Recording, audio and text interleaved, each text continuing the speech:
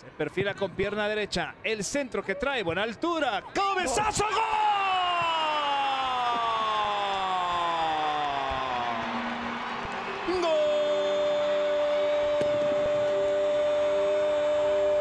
¡Gol de América!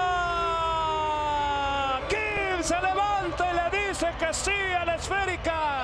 Y va sobre el recorrido que tenía barreras en su puerta. Y se mete para que la América marque el tercero en casa. Y si ya estaba en semifinales, ahora simplemente esperar a que termine el partido.